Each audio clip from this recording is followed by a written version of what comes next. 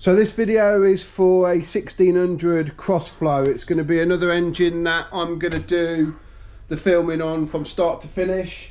Um, this is already a race engine for a Formula Ford and it's just a little bit down on power. Uh, these things apparently run about 122 horsepower roughly and this one's down at 116. So uh, the customer wants me to just um, strip it, top and tail it. But what I want to do before I do that is just measure everything about it and, and make notes of it. So I'm going to use one of the apps that I've got on my iPad uh, to save all the data. I'm going to do a cam, uh, cam timing check. I'm going to measure the CCs in the block, measure the deck height of the pistons, measure the height of the of the valves, and uh, and yeah, and uh, we'll film all that too. So we've got the inlet manifold off the crossflow. I'm going to measure the valve depths now. Um, I've got it sitting at TDC. But one thing I have noticed, the customer showed me the dyno chart and um, basically the power just drops off all of a sudden.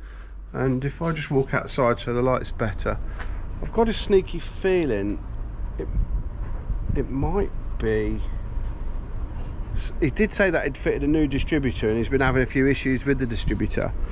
And then if you could see in there the gap from the rotor arm to the HT pickup.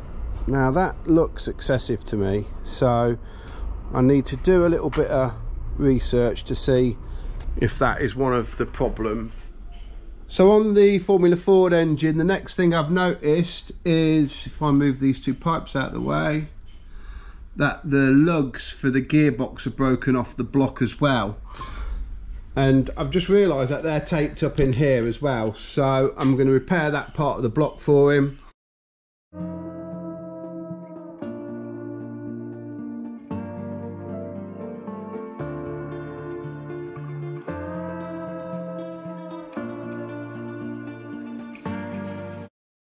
So what I'm doing here is just finding true TDC and I'm using the flywheel to turn the crossflow because I don't want to disturb anything on the front. So first part I've got to do is just find out the dwell for how long it stays in one position for and then whatever that is in degrees divide that by two and then set it to that I think that is about there. Just a slight tweak on the protractor. Okay, so that is TDC. Now what I want to do is sorry my phone rang um, yeah so that's true TDC and what I'm going to do now I found true TDC is also measure how far down the um, the piston is in the bore and then basically get some notes of everything. What I want to do is just really carefully take the carbon off the top of the piston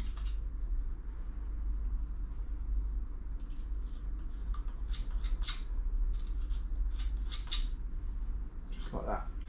Um, right, so what I'm going to do now is see how far down the bore the piston is sitting. Um, the, all these pre-checks are not necessarily needed when you strip an engine to rebuild, but because this is a Formula Ford engine, what I've had nothing to do with before, I want to know that everything that I'm going to do is an improvement and that also if the engine can be um, stretched more to the rule book with dimensions and settings. If I measure it before, I know how much I can modify it for for when we rebuild it. So what I'm going to do is rock the piston to find out how much rock it has in it in the piston. So if I set that to zero,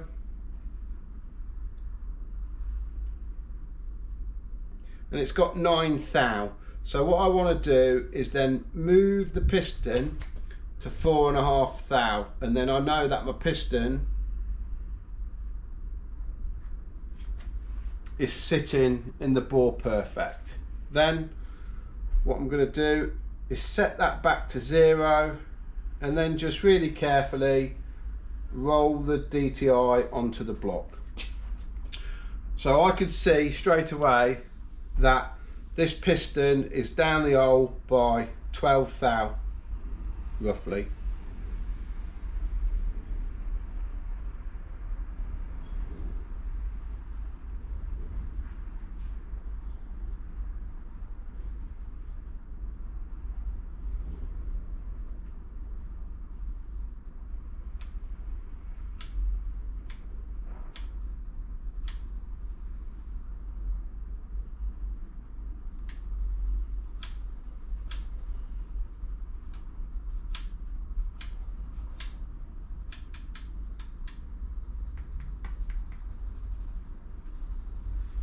In fact, what I've just actually noticed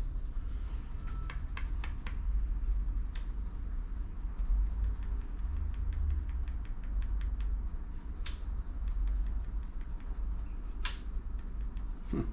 Well, it's a good job to check that. What I've just actually noticed is that my expensive DTI, if I can just um, show you, if I tap that,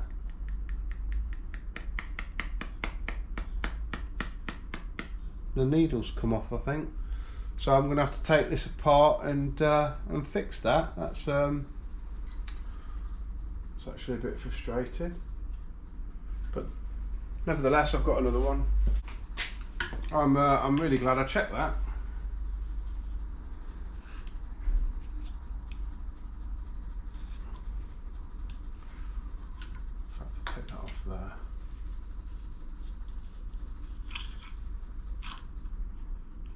I'll use that for doing voxels, that extended piece there.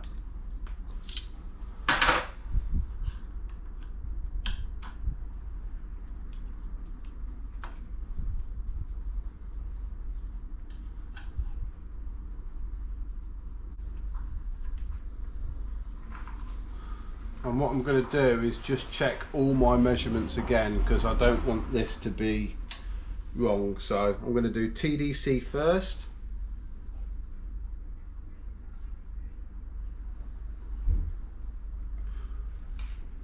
and then I'm going to check the rock on the piston.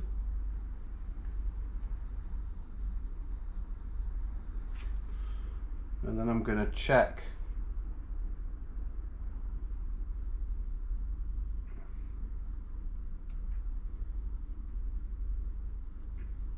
so it's actually nine thousandths of an inch. And that needle don't move when I give it a tap. So we know that we're nine thou down the piston's 9 thou down the bore. So we can run that flat top. So straight away we can make an improvement on the engine because I can drop the uh, drop the deck of the block down by another 9 thou. So the next thing that I want to do is to check the cam timing. So I'm going to do that off cylinder number one. I'm going to stick my bore gauge on top of the push rod and what I'm looking for is what degrees the inlet valve is fully open at.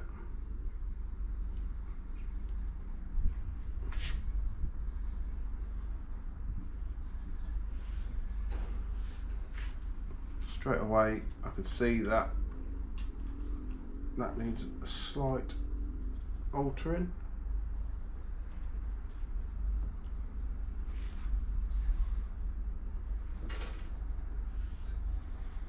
So it's coming up to TDC now. So what will happen is the inlet valve will just start to open.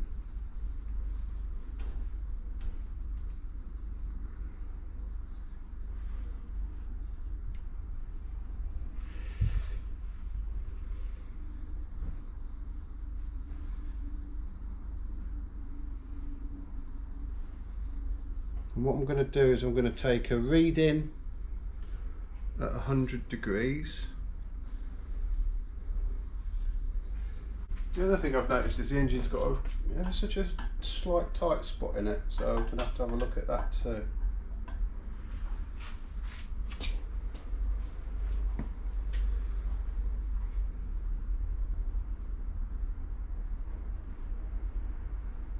So I'm going to take a reading when that's set there.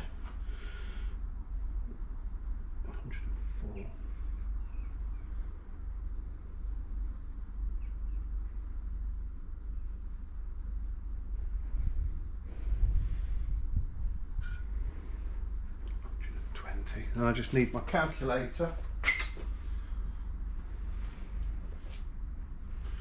to work out what the timing is set to.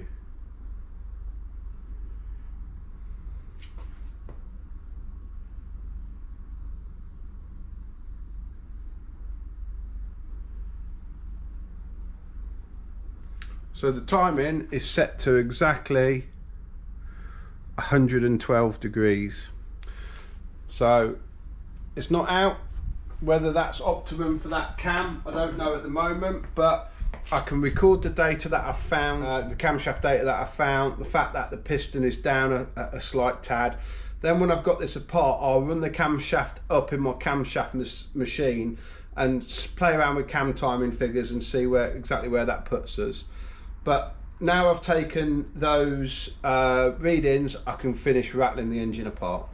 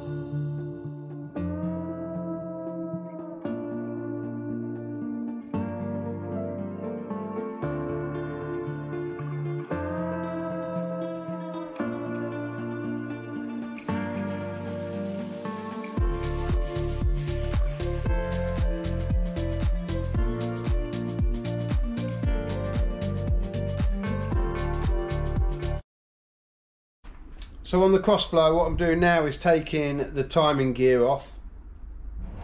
Now on these, they have, originally, they have a little pointer on the crankshaft and a little notch in the camshaft. And when it's standard timing, they line up.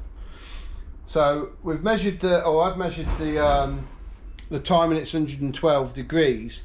But how some people adjust the timing is they use offset keys or they don't even use keys and they just rely on how tight you do up the two half inch UNC uh, screws.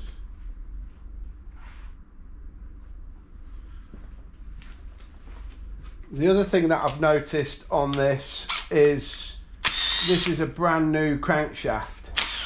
Um, it's only done roughly 500 miles of racing and the bearings are quite badly worn here and here which is either the rod has walked and that's out of line or when the crankshaft has been manufactured the inner part of the crankshaft is where they've measured it the journal and that's correct. But as it comes out it kind of does this and what what happens is, is it it it then loses the clearance the oil clearance and it would then wear the lead part of the bearing slightly.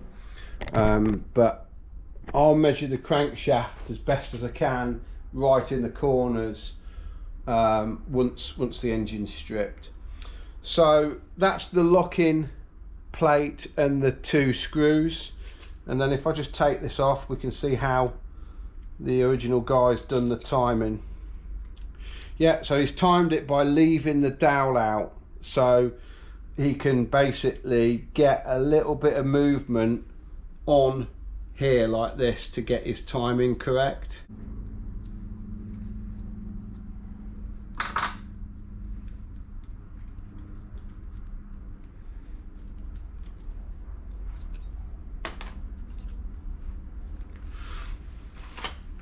This is also a thrust plate. You can see it's just wearing here. So what that does is it allows the cam to move ever so slightly like that.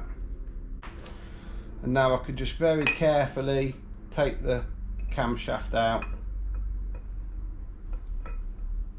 Trying not to damage the camshaft bearings as it comes out.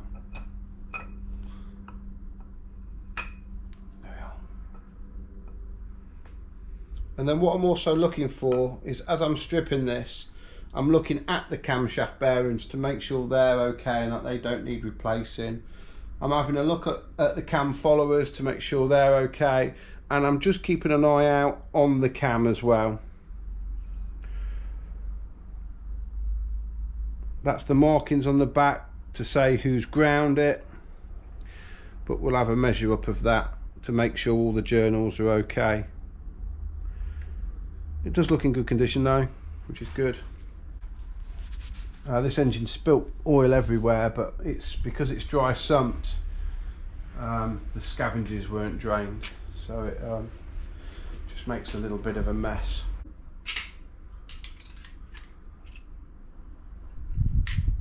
Definitely want to have a look why it's a bit tight. I don't like how it turns over really.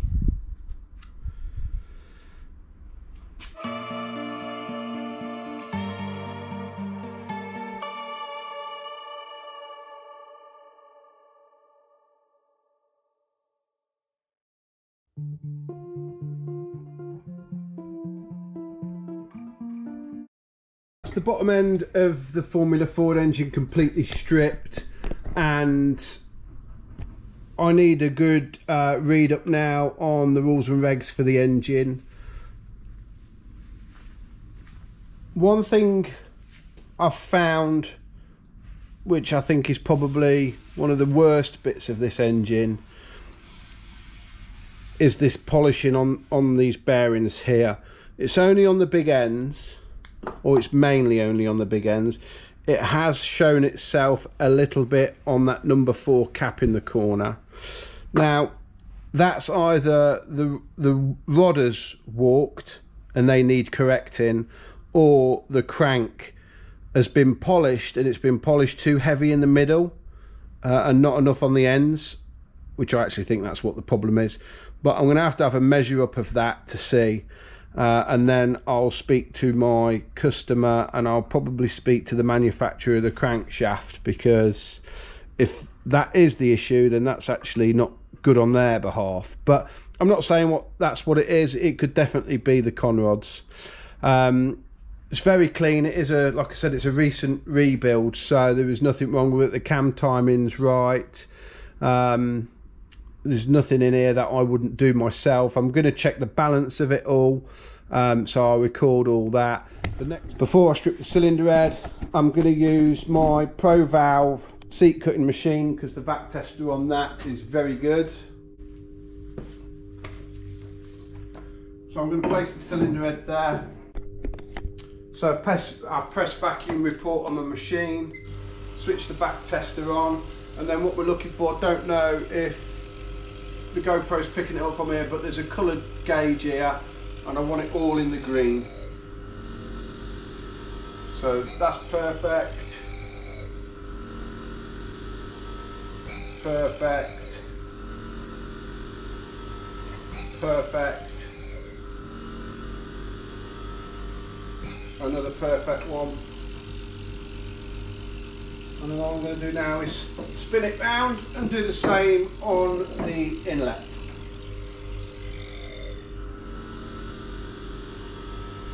Perfect.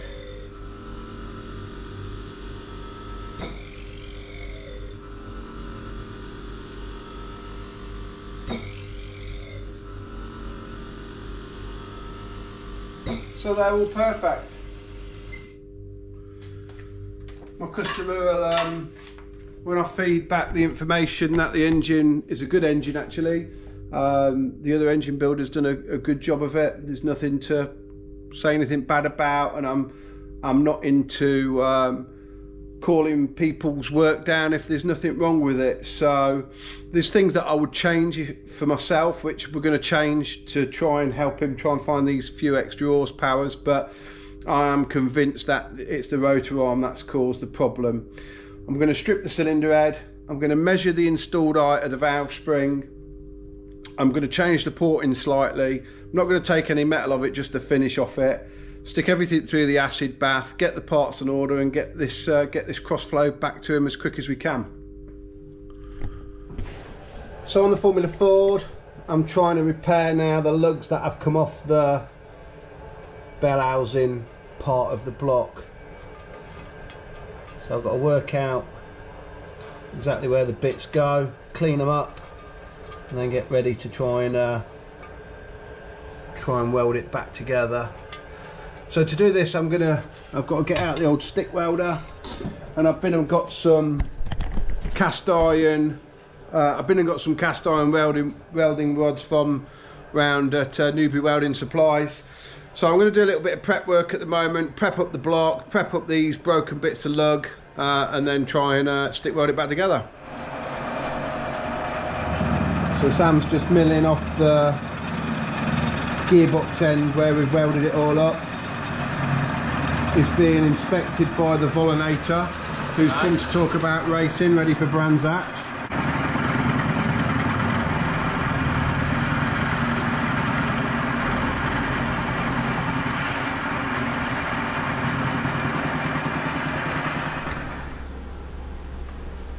So I'm balancing the Formula Ford crankshaft assembly today because this has got the Formula Ford engine's got to be built. Um, I've already ran the crank up just to get some basic figures. And as a static mass, it's actually in balance. Uh, you can see the machine here showing green in the middle, but the red on both ends means the front and the rear is slightly out. So the first thing that I'm going to do is just remove a little bit of metal from the two um, areas of the crank that need it, get the crank where it's closer, then bolt the other components on and keep balancing it.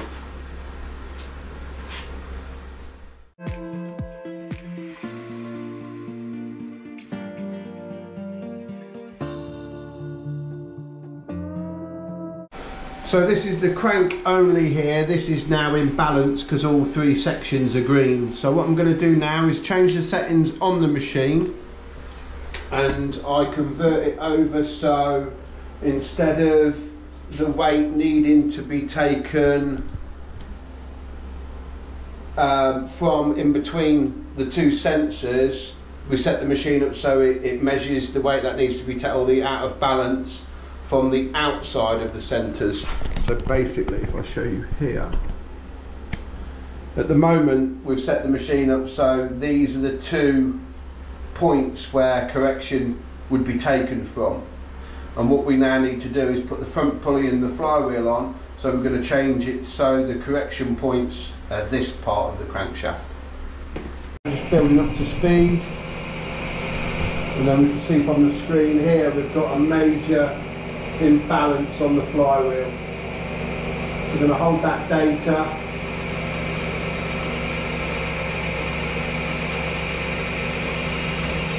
print a working copy and then just stop the machine.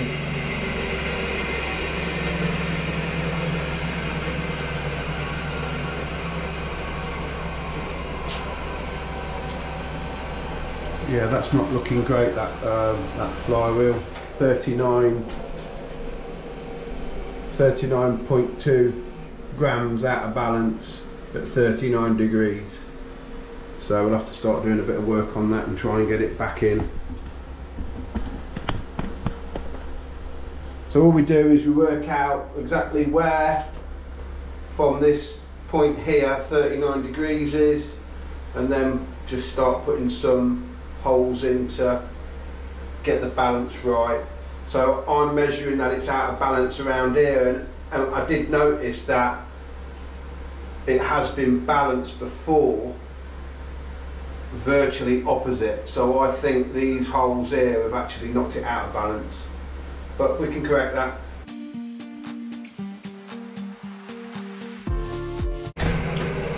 So that's the flywheel now in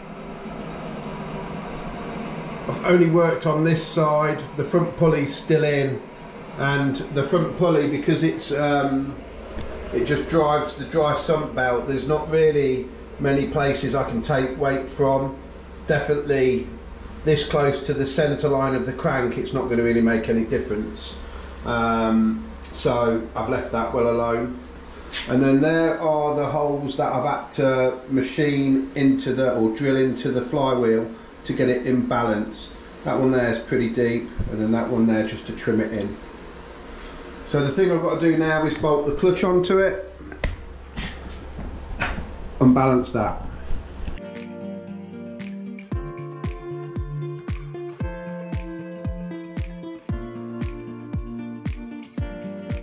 So, right, so I'm hoping that is the Formula Ford engine done.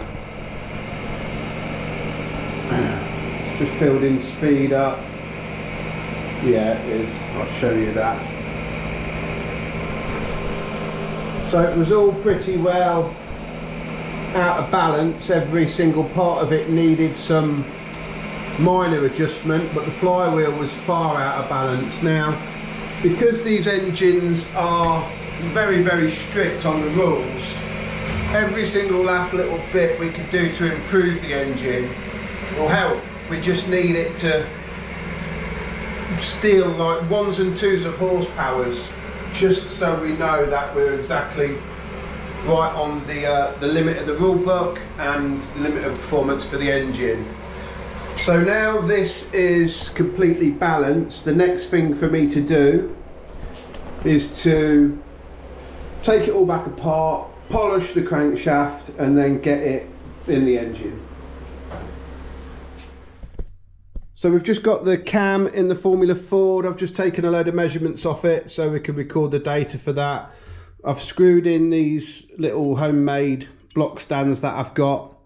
Um, so I'm going to quickly go and polish the crank, measure it, and then flick this over, and then just carry on with the build.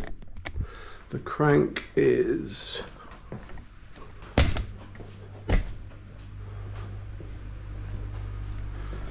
the crank's in the polisher and the reason that I want to or the crank grinder and the reason that I want to polish it is when I run it on the balancer the hard wheels on the or the hard bearings on the balancer um, you could just see where it's rolled on the crank. Uh, and also there is some little bits of wear on the crank which I just want to try and blip them out. And then I also just want to take care because I'm pretty sure that there's some concave shape onto the, the big ends because of the way it's wearing the journals. So I'm just going to polish them and just make sure that's all good as well.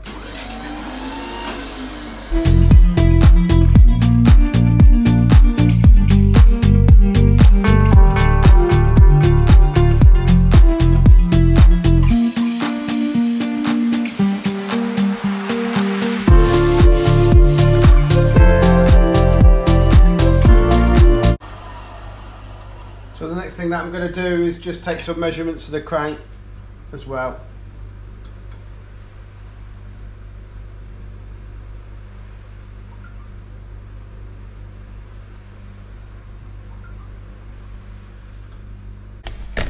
So with that all done, I'm going to now put that in the cleaner for half an hour just to get any of the swarf out of the oil ways and whatnot.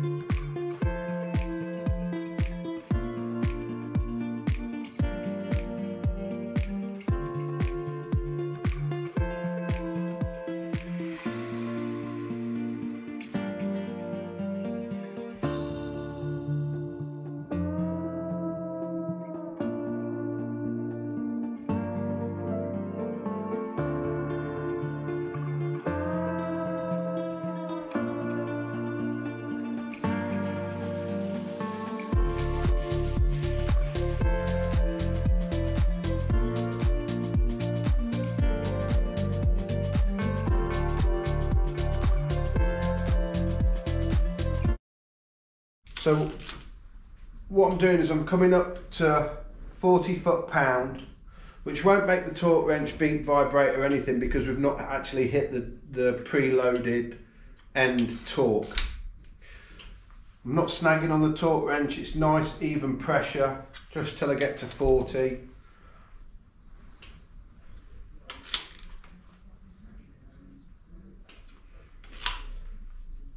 Then once I've got to 40 foot pound, I'll then just make sure that the crankshaft turns real nice and freely by hand. Which it does. I mean, that feels lovely. That's just got the um, build lube in it, which makes it a little bit springy almost because the viscosity of it. So now I don't need to do any adjustments to this because I preloaded it to the 60 foot pound. And what will happen is this is a snap-on ATECH torque wrench. So this actually counts as we're hitting each bolt.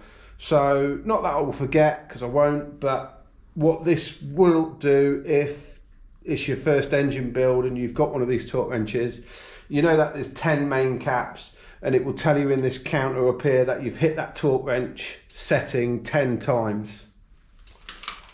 So if you get to the end and it says seven, somewhere you've um, made a mistake. So now I'm steadying the block with this hand and then I'm just really gently pulling up with that end.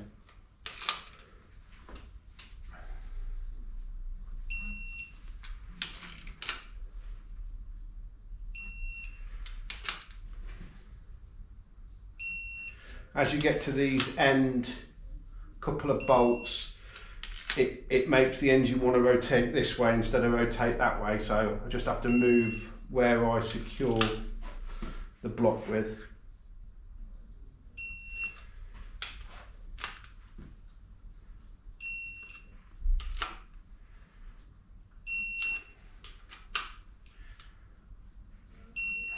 and that's it. That's definitely all 10 done, but what I can do is just double check it by looking in this top corner here in a sec when it stops flashing and it'll just say 10 there. So the next thing for me to do is switch the torque wrench off and I want to check the end float. I've checked the camshaft end float already so this is the crankshaft end float. So I'll set up the DTI on the end of the block. And then set up the measuring point on the on the DTI and I'm just making it where I've got some load in the spring of the gauge too and then I'm going to push it all the way backwards, zero the DTI, and then just move it all the way forward. And you, you can actually hear it and see it. And that's five thousandths of an inch end float there, so that's absolutely bang on.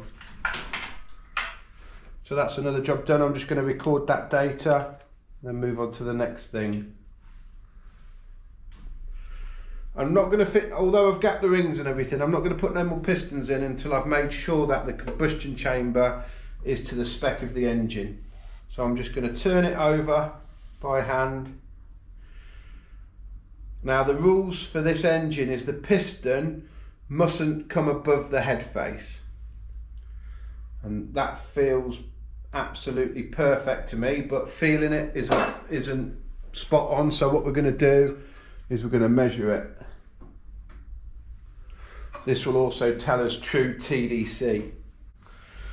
So then I'm going to zero the dial gauge and then just really carefully just move the T, the the piston through TDC just so I know that my zero is spot on which it is. And then I'm going to carefully just roll the bore gauge over. And that tells me that the um, the piston is two thousandths of an inch below the deck face which is good news So I'm gonna put my DTI away. And then the next measurement I need to take is how many cc's are in this combustion chamber here. So I've already measured the piston to work out how many cc's are roughly in the in this in the land of the piston which is the area from the top part of the top ring. So from here up to here. Now the one bit that's tricky is to work out this cutout here. So I think I've got it just about perfect I mean, normally we grease around here and we only take a reading from the top. So even just trying to work out these bits here is, is, is making it far more accurate than what it would be normally. So now that's on TDC, I'm going to get some grease and I'm going to go all the way around here and then with the burette measure what's in here. So what I've done there is measured the CCs in the combustion chamber in the piston um, what's different about one of these crossflow engines is a lot of the time normal cylinder heads have the combustion chamber as a as a dome um, where with a crossflow the heads are basically flat and the valves are flat almost like a diesel and the combustion chamber is part of the piston and the cylinder head gasket so what I've done is I remember when I was looking through the rules and regs, there was a minimum setting that this could be. So we've made this right because the, the, the piston was down the hole by quite a few thou. So we've skimmed the right amount off the cylinder, off the cylinder block to get that right. Now we've measured, calculated the CCs in the combustion chamber. So what I'm going to quickly do is have a quick read of the rules just to make sure that that is all perfect before we carry on with the build.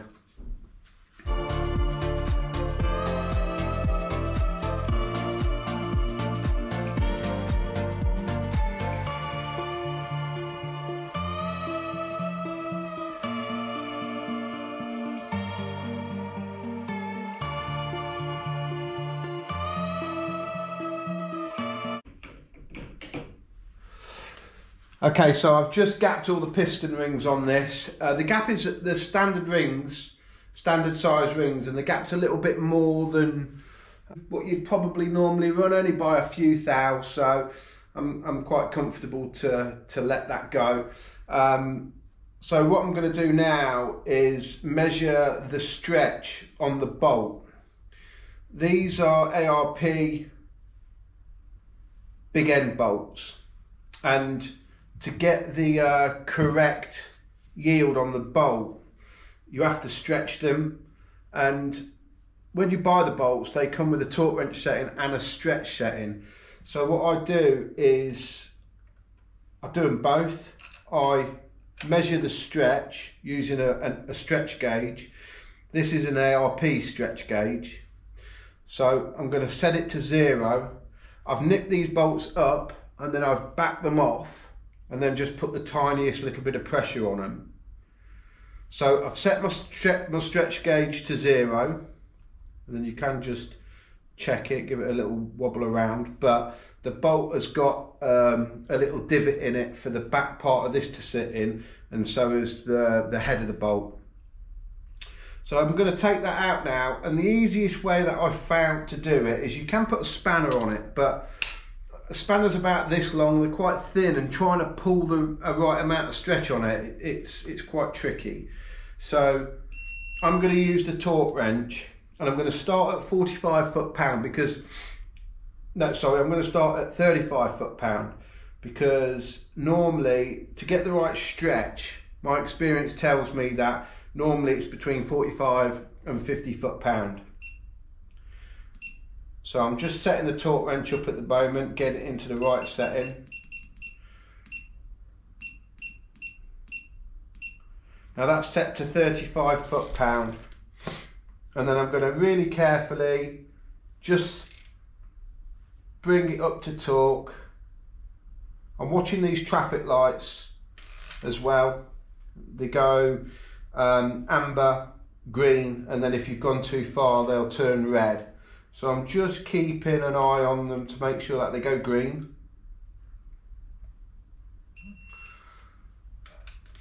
And then the same with this one. And then what I'm going to do is just measure what that's stretched by. So that's now stretched four thousandths of an inch. So what I'm going to do now is go up another 10.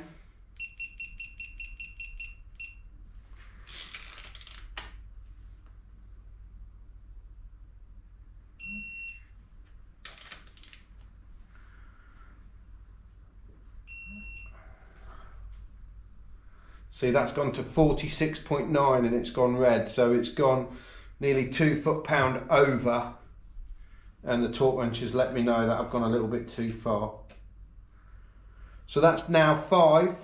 So what I'm going to do now is just go up to say 48.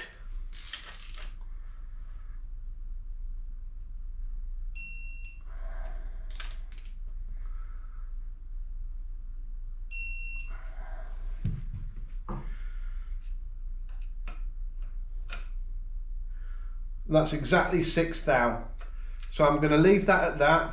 I'm going to put my stand back in and then the next thing I'm going to do is I'm going to calculate how many cc's are in the combustion chamber of the piston. So just give these a little nip up. I'm also going to put a paint dot on here and here. all four pistons back in the Formula Ford engine now. The bottom end's torqued up.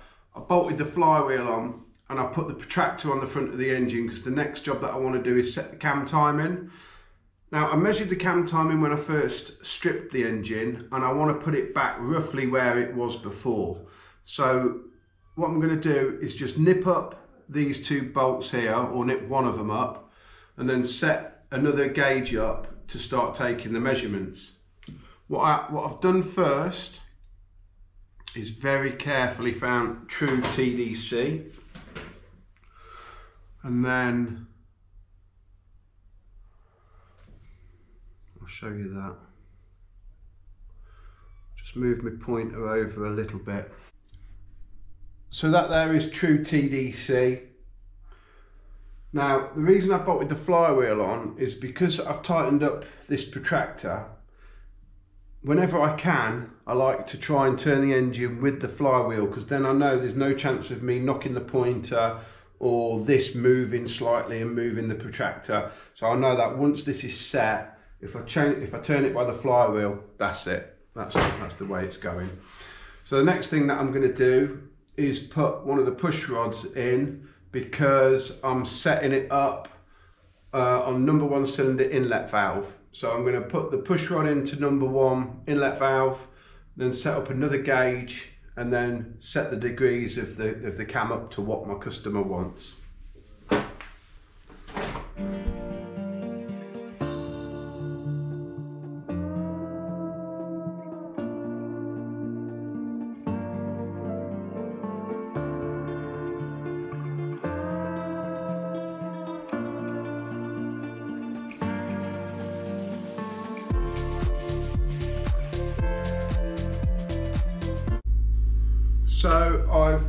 Timing out once, but I thought I would just do a quick explanation of how I do them on cross flows. I can't give you the exact figures because my customer wants to keep his cam timing figures to himself because he likes the power delivery. So, um, but what I do is I work it out where it's on the dwell. So that's basically you move the engine in direction of rotation and what you're looking for is the DTI to stop moving. You take that reading and then you keep watching the DTI until it starts to fall back and then you take that reading, you minus the first from the second and then you divide that figure by two and then add that figure to the first figure or take it away from the second figure. Um, and that will give you the cam timing. But what I'm also doing is I'm checking it to get it more accurate because try because the eye can't pick up perfectly the DTI to get it more accurate I'm going to do it while the valve is still in motion so I'm bringing the engine up to where I know it's right and then I'm picking a point on the DTI way before the dwell point which is there.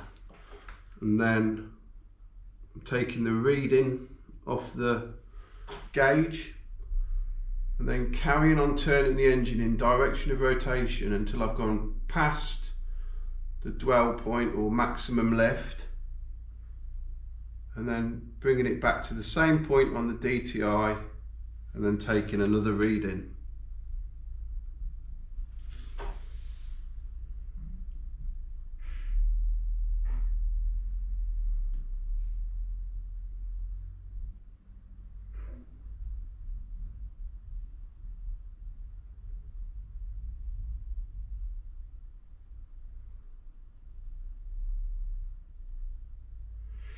And that's it. So that that now gives me my cam timing figure, which is exactly exactly where my customer wants it. Um, what we've done is the cam timing that was on it before, we're just changing it by a degree just to try and bring the engine on a bit quicker. So that's all locked off anyway because I really nipped that up and I'm just going to make sure it's nipped up bend the lock tabs over and then carry on dressing the front of the engine so all of this timing gear can come off it now.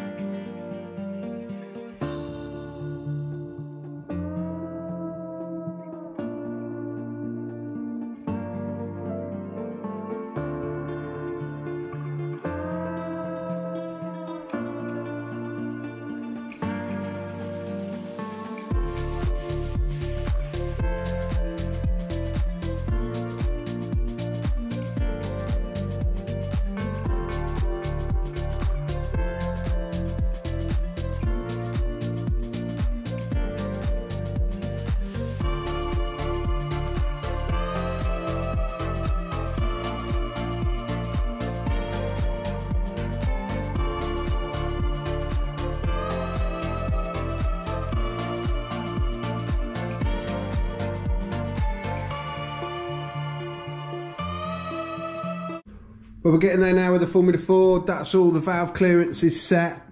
So what I'm going to do now is um, bolt the front cover on, get the clutch on, turn it over, get all the dry sump gear back, back uh, bolted back to it, and then just strip and rebuild the dry sump pump for it, water pump. Yeah, it's looking uh, it's looking real nice. I really like the colour of it too. So I'm just finishing off the Formula Ford engine and I'm putting the clutch on now and the clutch has got two halves to it basically a flat half and then it's got this part here which has got the spline on it and the springs to take some vibration out of it. Now it's important to make sure the clutch goes on the right way because if you put this on that way round this part will bottom out on the flywheel bolts and the clutch won't work I also use an old bit of input shaft on anything Ford, which is basically, it's known as inch 23. So it's an inch diameter 23 teeth. So that's just cut straight out the input, input shaft of a gearbox. Because I've checked the balance of this, I've marked the clutch with a couple of dots and the flywheel as well. So I know that'll only go on one way. And then I'm just going to torque the bolts on. So that's the 1600 Crossflow Formula Ford engine all complete now and ready for my customer to collect. Um, I printed off all of the rules and regs and I've gone through everything just to make sure the engine is um, absolutely perfect regulation rise and it is. I've rebuilt this engine but I, I can't take the credit for the initial build because it was already pretty well perfect. To be honest it was a good engine. It just needed a few little tweaks. Um, I measured the rules are very tight on CCs and compression and things like that but when I measured the bottom end I could get away with getting a little bit more out the bottom end so we've done that. We've checked the balance of it all and apart from some very minor adjustments um, it was really good. So it's all built up. We've painted it a lighter blue because that's what the customer wanted We've put the distributor in, but I've not put the cap and rotor arm on because when I stripped it, I pointed out that there was a, we think there's an issue with the rotor arm. So we've checked the distributor, that's fine. So my customer Richard needs to replace the rotor arm now. So I'm going to leave that off. He also needs to replace the dry sump uh, pipes. So I've left them off and just taped everything up so no uh, dirt or anything can get in there. Um, and also with all the bolts and everything that he gave me, there's a bolt missing out the inlet manifold and a bolt missing out the distributor. So I'm going to leave them out now because I'm going to wait until he gets here. I can always put a bolt in. I've got no problem with that, but I don't know if there's a bracket off one of these. So I thought I'd wait for to show Richard first. So everything's torqued up. I haven't put a sticker on it because I don't know if he wants me to put a sticker on it. So I've left that off for now we've just marked it to say that we've been in there in case, you know, when we get it back, we know that we, we have been in there and we've had a look at it and whatnot. But yeah, it's uh, I've quite enjoyed doing that 1600 cross flow. It's a, it's a bit different. I do a lot of 1300 cross flows for the low cost, but not a 1600. And uh, I really like the blue that we painted it as well. He wanted to brighten the blue up, and I think we've uh, I think we've hit it right there. So so yeah, I'm just waiting for Richard to come and collect it and then I'll, we'll be getting on with something else. What I am doing today actually is I'm going to sort out my toolbox because I've got tools in two workshops and it is driving me crazy. Sam and Graves are getting the race car ready, so we're going to do a prep, uh, prepping the car before Brands. I'm just move away from the music. Sorry, uh, we're doing a prepping the car before Brands uh, video as well. So I don't know when Tracy's going to get that out, but um, once again, guys, thanks for watching. Thanks for all the subscribers out there and all the thumbs up and all the likes. I really do appreciate that. Um, if you could give it a sub, uh, if you could hit the subscribe button if you haven't yet, it's only down there. It, it means a lot to us. It helps. Uh, it helps with everything really, and uh, we'll keep making the videos for you. Um, if there's anything you guys want to see, leave it in the comments section below. If there's any any questions you've got, leave it in the comment sections below, and we'll do our best to, to get them out answered. Uh, doesn't matter what it is, really. We'll uh, we'll do our best to answer any engine questions or anything in general, really. And uh, thanks for watching, guys, and we'll see you on the next video. Take care. Bye.